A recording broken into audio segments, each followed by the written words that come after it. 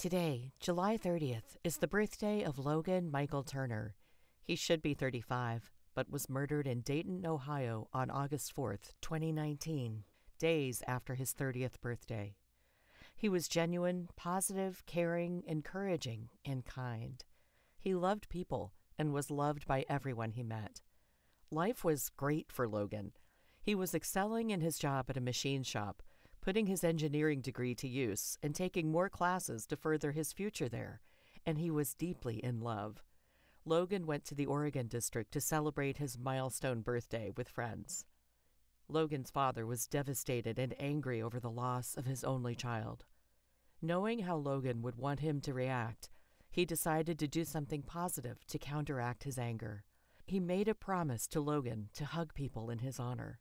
He established a hashtag, Logan Hugs, had shirts made, and proceeded to hug as many people as possible every day.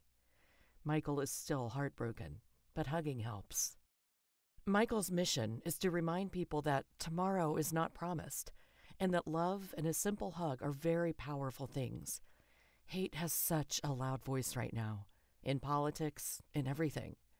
We are just trying to get more love out into the world. Everybody can use a hug. The shooter was another red flag candidate. He had a history of drug abuse, mental health issues, and threats of violence, including a kill list and a rape list. He opened fire on a busy street outside a local bar. Because he had an AM 15 equipped with a 100 round drum magazine, he was able to kill nine people and wound over two dozen in under one minute. Police in the immediate area responded in seconds and shot him to end what could have been a much more catastrophic attack.